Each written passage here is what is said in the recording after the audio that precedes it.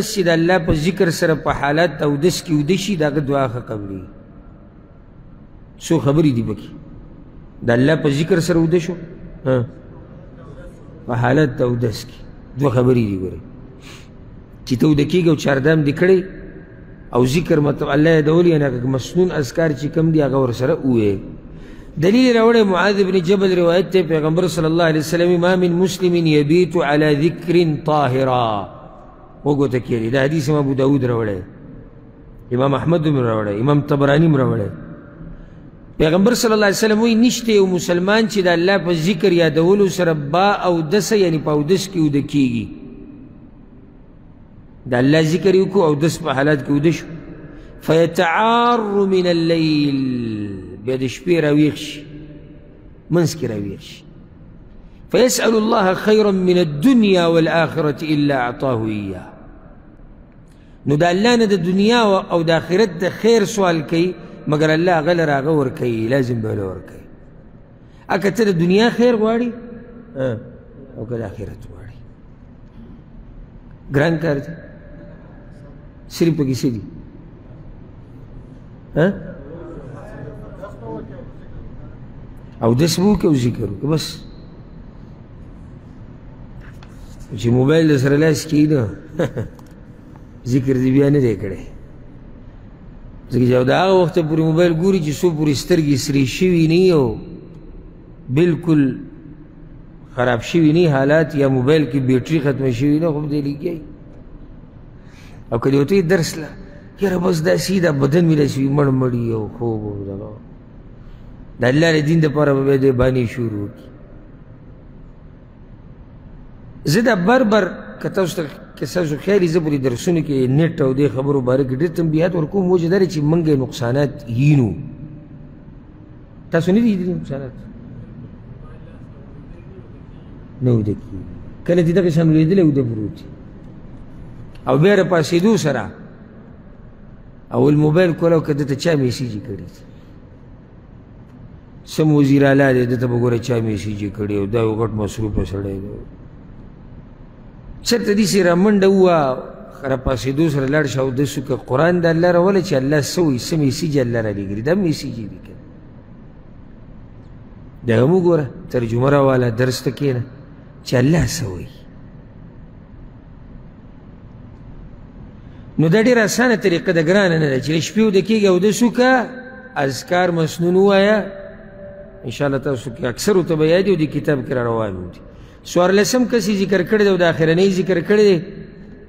وی الله چې د چا نه راضي او ورسره محبت کوي نو د دغه عظیم انسان دعا هم ښه قبلېږي دې ذکر خبره ټول راغونډه کړه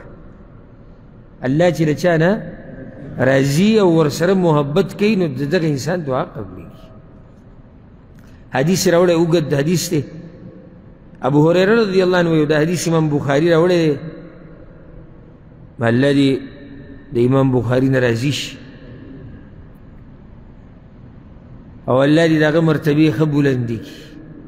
او الله دې موږ د هغه په دې کتاب او د هغه په دې علم باندې د الله موږ پوه کړي ابو هريره رضی الله عنه پیغمبر صلی الله علیه وسلم دا خبره کړې ده ان الله قال الله وی اوس دا حدیث دی دا اوس حدیث قدسی دی ځکه چې څوک خبره څوک کوي الله کې غوږ ورته کېږي ګوره دې سند ته ګوره حدیث چا راوړی دی نه امام بخاري یو خو دا ټاپه پرې ولګېده نو امام بخاري بیا سند رسولی د ابو هریره رضی الله عنه ته ابو هریره بیان کړی د پیغمبر نه نو پیغمبر بیان کړی د الله نه دا معمولی خبره مګاړه الله وی من عاد لي وليا فقد اذنته بالحرب چا چې زما د دوست سره دښمنی وکړه نو هغه سره زما د جنگ اعلان دی د الله دوست یعنی د الله بندگی کوونکی دیندار شخص موحد متبع دا د الله دوست دی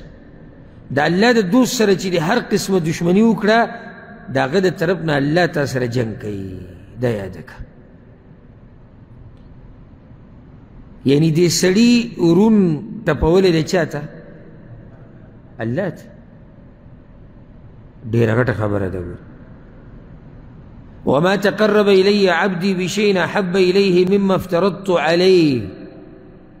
او نه رانږدې کېږي ما ته زما بنده په یو شي سره چې هغه ما ته ډېر محبوب وي د دې نه کوم چې پې ما لازم کړي دي یعنی کله چې بنده الله ته نږدې کېدو دپاره څه کوي اعمال کوي نو په ټولو کې خوښ عمل الله کوم یو دی کوم چې الله لازم کړی دی یعنی فرضي عبادات په ټولو عباداتو کې د الله کوم عبادت ډېر خوښ دی فرضي چې الله په تا لازم کړي وما يزال عبدي يتقرب الي بالنوافل حتى احبه د نیکان خلک ګوره صرف په فرضي عبادتونو باندې اکتفا نه کوي وی او همیشه بنده زما را نږدې کیږي ما ته په نفلونو سره تر دې چې زه د هغه سره مینه شروع کما نفلي عبادت چې هر یو وي دومره دی په دې نفلي عباداتو کې دا نیک بنده ورننوځي چې الله ورسره څه شروع کړي محبت او مینه شروع کړي اوس دې کومې مرتبې ته ورسېد الله ورسره محبت کړي فإذا أحببته کله چې زه د دې بنده سره محبت شروع کړم كنت سمعه الذي يسمع به نو زه د هغه غوږ وګرځم چې په هغې سره هغه اورېدل کوي وبصره الذي یبصر به او د هغه سترګه وګرځم چې په هغې سره هغه لیدل کوي ویده التي یبطش بها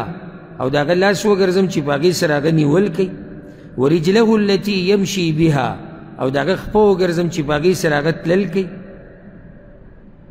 د حدیث ما څو څو پیری بیان کړم دی ما سوریدل هم دی چېرته زما کتاب الرقاق کې ډېر تفصیلي بیان شي معنی د دې څه ده موږ د دې وضاحت کوو بارک الله فیک معنی دا ده چې دې په دې غوږ باندې هغه څه اوري چې د الله خوښي دې په دې سترګو باندې هغه څه ویني چې د الله خوښي دې په دې لاسونو باندې هغه څه رانیسي چې د الله پرې راځي دی په دې خپه باندې هغه ځي ته ځي چې الله پرې راضي کېږي او چې کله دې یو بنده ولیدو چې د سترګو یې حفاظت کېدو د غوږونو د لاسونو د خپو پوه شي چې الله پرې څه دی الله پرې مین دی وان سألني لأعطينه او کچری هغه زمانه سغواړي خامخا به ورله ورکوم دې لپاره د حدیث راوړي نیک بنده دی کنه الله ته راضي دی الله ورسره محبت کوي نو چې دی اوس د الله نه سم غواړي الله به ولا ورکوي ولئن استعاذني لاعيذنه او کچری هغه په ما سره د سشینه پناه وغواړي نو خامخا زه هغه لره پناه ورکوم یعنی چې الله ته دا ووایي چې الله د پلاني شي نه مې بچ کړه الله به یې بچ کوي وما ترددت عن شيء أنا فاعله ترددي عن نفس المؤمن يكره الموت وأنا أكره مساءته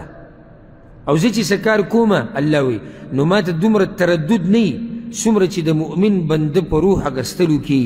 هغه د تکلیف د لاسه مرګ نه خوښوي او ما ته د هغه تکلیف بد لګي خو دا فیصله ده د الله څنګه تکلیف بد لګي نه دې ډېر وضاحتونه خو صرف یو کوم مختصر کې چې وخت ختم دي الله چې په دې انسان باندې مرګ راولي طبیعي دا مرګ هر سړی نه خوښوي طبیعي لکه یو مؤمن که مرګ خوښوي نو خو دا خوښوي چې د الله سره مې ملاقات وشي او جنت ته به ځم او جدا مسله ده خو نور د انسانانو په طبیعت کې دا ده چې مرګ پې ښه نه لګي بل د مرګ هغه سخته مسلمان بنده چې خصوصا رایادې کړي اوس دی د مرګ نه خوښوي رب العالمین دل تکلیف ورکول نه غواړي اسی دې خبرې ته مې سوچ ته یعنی دې تکلیف نه خوښوي او الله هم نه غواړي دل تکلیف ورکړي نو دا تکلیف نه یې چې دا مرګې پرې راوستو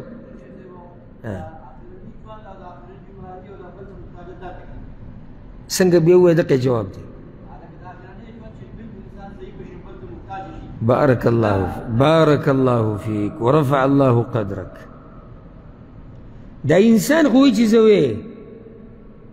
خو الله دا نه خوښوي چې دی په دې دنیا کې او په دې تکلیفونو کې او آخره کې د بوډاوالي هغه ژوند او هغه د ذلت ژوند او هغه خلک ترې تنګ شي یا په بیمارو کې پروت رب العالمین دا نه خوښوي نو دا مرګ هم ګوره یو قسمه نعمت دی مرګ څه دی نعمت دی نور به دې تفصیل نه کوو خپل ځای کې تفصیل شوی دی